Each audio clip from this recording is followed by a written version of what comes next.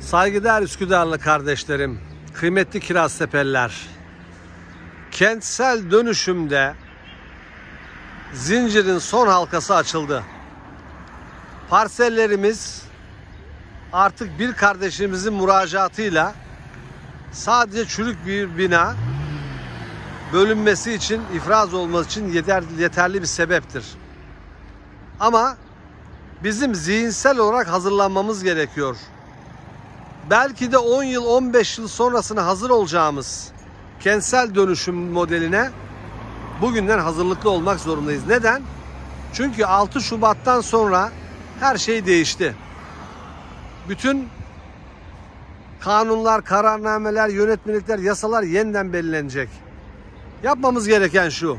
Önce inşaat firmalarıyla anlaşacağız veya kendimiz yapacaksak parseller 1000 metre, 1500 metre, 2000 metre ayrılmalı. Bunu yaparken bir işimiz daha olacak kardeşlerim. Birçok parselde sokaklar yok.